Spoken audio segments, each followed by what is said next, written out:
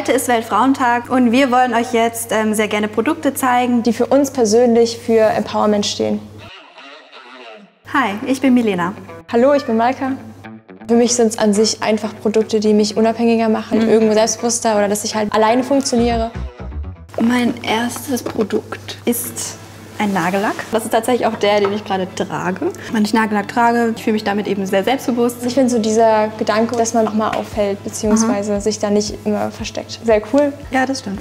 Also ich hatte einmal eine Situation in meinem Leben, die mich sehr viel weitergebracht hat. Ich war ein Jahr in Kanada und war dann in der Gastfamilie. Wir haben uns auch gut verstanden, aber es wurde mit der Zeit immer schwieriger und ich habe mich unwohl gefühlt, aber habe immer noch trotzdem gedacht, es ist nicht so schlimm und es kann auch immer noch schlimmer werden und so dieses Ungewisse, was danach kommen könnte, macht mir auch Angst. Vielleicht ist es ja schlechter. Und ich glaube, das kennen viele, dass man sich in irgendeiner Situation befindet, nicht so ganz glücklich ist, aber einfach Angst hat davor, was zu ändern. Genau. Und ich habe damals die Gastfamilie gewechselt, bin wirklich in der Nebel- und Nachtaktion dann in die neue Gastfamilie gefahren und es war wirklich alles sehr schwierig und damals auch für mich ein riesengroßer Schritt, aber es war wirklich die beste Entscheidung meines Lebens. Nicht nur, weil ich danach viel glücklicher war, sondern auch, weil ich dadurch gelernt habe, wenn sich was nicht gut anfühlt, was zu ändern und nicht davor Angst zu haben, was könnte sein, wenn man was ändert. Also für sich selber einstehen einfach auch so ein bisschen. Das ist immer ganz leicht gesagt, aber vielleicht sollte man sich immer mal wieder so ein bisschen ins Gedächtnis zurückrufen. Ich schaffe das und ich glaube, das ist auch schön von einer anderen Person, das dann immer wieder zu hören. Schau mal, weil du meine Lieblingsfreundin ah, bist. Das ja. finde ich sehr süß. Ja. Das ist natürlich auch cool. Das ist ein cooles Geschenk. Ja, ich vermute mal, das sind auch so Motivationssprüche teilweise oder irgendwie so zum. Genau, aber nee, das kann man schön. zum Beispiel einer guten Freundin schenken. Und dann kann die das jeden Tag umblättern und dann ja. fühlt sie sich gut. Ah, die finde ich gut.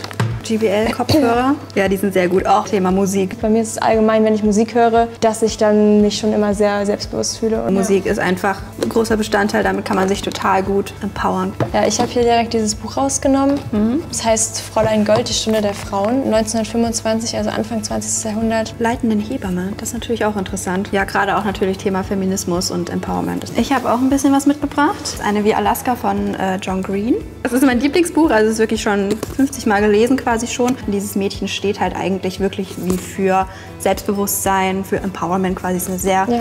selbstbewusstes Mädchen. Mit ihr fühle ich mich jetzt nicht selbstbewusst, aber sie ist auch schon so eine Art Vorbild eben, weil sie eben auch sehr handelt, wie sie das gerne möchte, nach ihren eigenen Vorstellungen. Ich habe auch ein Buch mitgebracht, Eine kurze Geschichte der Menschheit von Noah Harari. Bei dem Buch geht es bei mir weniger um die Geschichte selbst, beziehungsweise auch ein bisschen, aber Bücher sind eigentlich so unser Zugang zu sämtlichem Wissen. Das Privileg, dass wir besonders jetzt hier in Deutschland immer an alle möglichen möglichen literarischen Werke rankommen können, steht für mich für Empowerment. Mein nächstes Produkt ist tatsächlich an meinem Körper. Und zwar ist es einmal hier dieses Armband und eigentlich zusammen auch noch mit dieser Kette. Das sind beides Geschenke gewesen von äh, meiner Familie. Ja, und mit denen fühle ich mich einfach sehr wohl, eben auch, weil die mich natürlich an äh, Leute erinnern, die mir sehr nahe stehen, weil die mir das geschenkt haben. Ich verbringe auch sehr, sehr gerne Zeit zu Hause oder an sich mit meiner Familie und dass man halt irgendwie den Rückhalt hat. Genau, deswegen habe ich das mitgebracht. Ich habe ein Chai-Tee dabei, okay. mein Lieblingstee. Also für mich ist es so ein Symbol für Selbstkontrolle. In Zeiten, in denen ich dann wirklich gerade so meinen Tag gut strukturiert habe, das sind dann auch Zeiten, wo ich wirklich mir sage, jetzt mache ich mir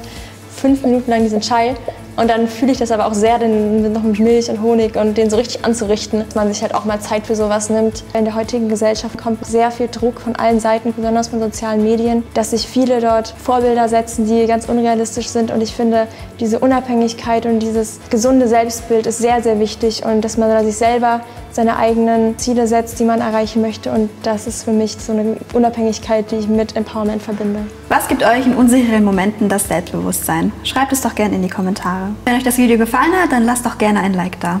Und abonniert den Channel. Bye. Tschüss.